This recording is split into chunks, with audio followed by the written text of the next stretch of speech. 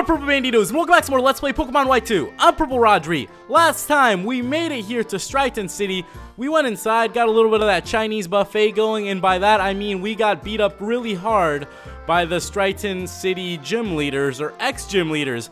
In today's episode, we're going to continue onwards in our adventure, maybe make it to Accumula Town and Nuvema Town, which are the last two towns uh, that we can explore here in Unova. Now, it's kind of fun going back and exploring these places, and, oh, alright, whatever. We got ourselves a battle. Let's go ahead and do it. What I was telling you guys, you know, we have these last two towns to go, and from there on out, I know that we're going to be catching legendary Pokemon.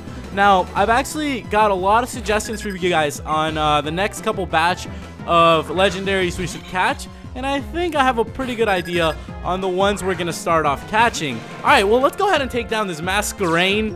Masquerain, make rain! Today is Thursday, if I'm correct. And by that, I'm not sure. It, it's, I'm pretty sure it's Thursday. It's kind of weird how when you're on your break, you know, time flies by. Like, this is one of those things. Tell me, you, I know you guys have experienced this. You know, what the fudge kind of bull? What the heck?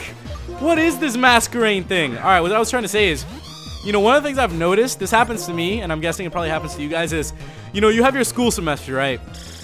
Like you have August, September, October, November, December, and it feels like years. You know, once you're done and it's finally winter break, you're like, holy crap, man. It feels like it's been years since I've been doing this. I've been, you know, in school for eight months, even though it's only really four months and all of this.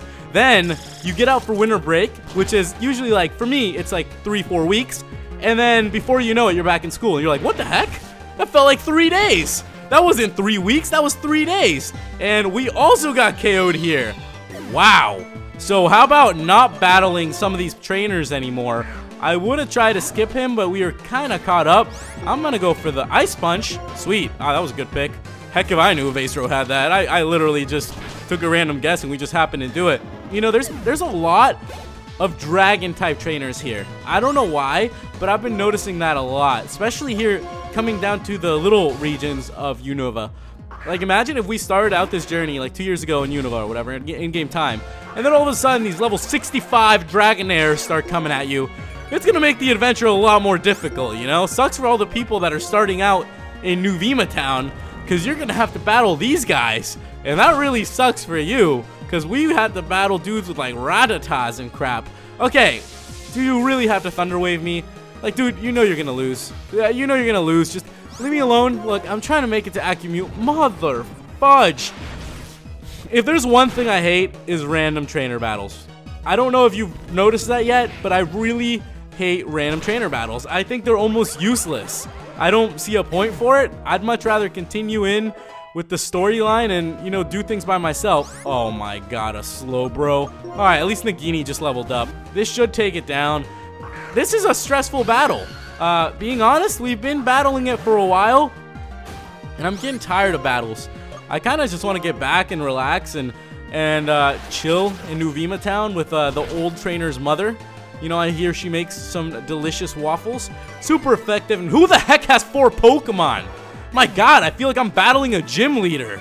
Jesus Christ, Veteran Rain. Seriously, dude, I feel like I just took on a gym. Oh, okay, thank God. I was about to have a heart attack there. Like, I am not about that life of battling these trainers. Okay, with that, I'm pretty sure we have made it to... Accumula Town. So sweet, guys. We made it here. See my Audino? She popped out of the swaying tall grass just to meet me. Oh, that's sweet. Look, there's an old man. Do you like Pokemon? Yes. Yeah, yeah, you have Pokemon with you, so I'm sure you do. That was it, dude? I wonder which person was the first person in the world to get along with Pokemon. I don't know. You ever wondered that? How did people begin, you know, capturing Pokemon and Pokeballs? Who was the person? Who was the sick, demented person that was like, hey, you know, uh, here's this little cute animal, you know, and uh, I'm just gonna make this Pokeball. I'm gonna throw it at its face and then capture it and make it my slave forever. Whoever did that, you know, if you really think about it, it's kind of evil, okay? Let's just think about it in a real life standpoint for two seconds, okay? So we're sitting here in real life, right? And uh, you're running around and you see a cheetah. You know, you're I don't know where you're running around. I'm Africa or something. You're running around, you see a cheetah, you know, this this huge cheetah thing, and all of a sudden you start thinking, you know what? it would be really cool if I could battle this cheetah against this bear. You know what I'm saying? I'm gonna battle this cheetah against this bear. Who thinks this, you know? Who's like, yeah, that's a great idea, man. I'm gonna, I bet this bear can beat the crap out of this cheetah. Let's give it a shot. No, you don't do that. That's sick. I mean, you don't battle Pokemon like that. What kind of sick-minded folk do that? I don't know. We made it to New Town. Holy crap. Hey, what's up, little girl? You know what? On my next birthday present, you're fucking Pokemon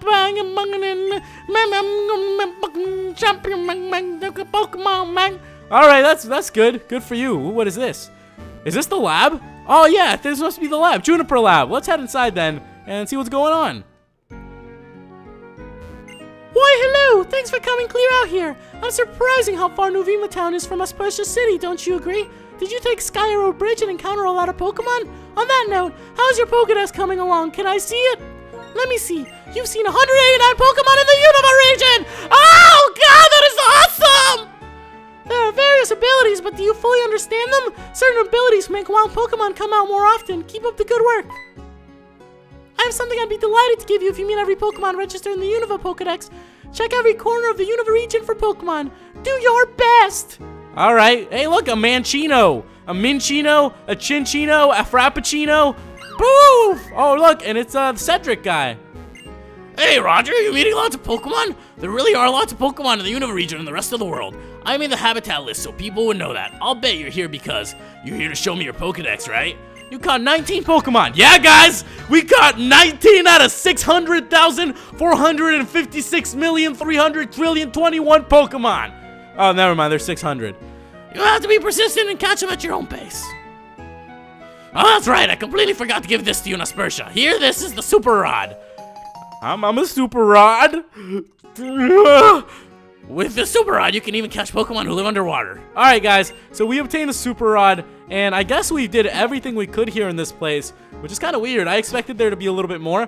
Honestly, I kind of want to explore around, though. It's nice being here in this town. Hey, how's it going?